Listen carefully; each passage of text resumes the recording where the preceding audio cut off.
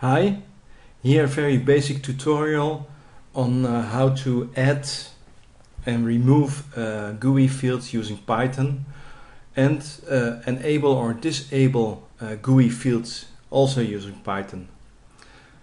Here this is very simple um, uh, dialog. Enable, then we enable this field, or we can disable it. We also change the text in this button, so once again enable disable. Also we can add um, GUI fields, adding here, add, add or remove. Also I'll show you um, in this case also the correct index field or the GUI field number index is shown. This is number 10, 31, 32, 33 and so on. So you can use it indeed to add and remove fields. I add and remove fields very straightforward uh, using um, first of all layout flush group. So what I've uh, I did is in the create layout I created an empty group, group 10,030 or 1030, which can be used to add or remove fields.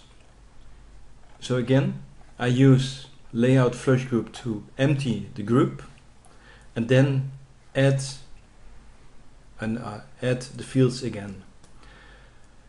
Uh, the same is for removing. What I do, I uh, remove the group and remove additional fields. So I rebuild um, the group again until um, the correct number of fields are added. And the number of fields, I keep uh, an index, new field index. I increment and decrement it for the number of fields I am adding or removing. So again, enable or disable is also very straightforward. What I do is I just enable the field itself true and set the string to enable. Disabling is also very uh, simple. I enable using the value false and set the string to disable. So again, very straightforward. Uh, first of all, I build a dialog. Here it is, the class. I set the new field index to zero, so null, uh, zero fields are added or removed. I set the first uh, buttons for the enable disable, a separator, the buttons for add and remove fields, another separator and the empty group in which you will uh, add and remove uh, additional fields. Here I print on the console the ID which you just clicked so you can test whether um, the fields indexes of the, uh, the fields you added are correctly.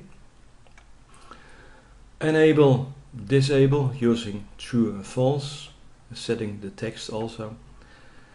And removing and adding uh, fields is very straightforward again. Um, first of all, I clear out, I flush the group, and then I add the number of buttons divided by the new field index. So with three, I'll add three uh, buttons and so on.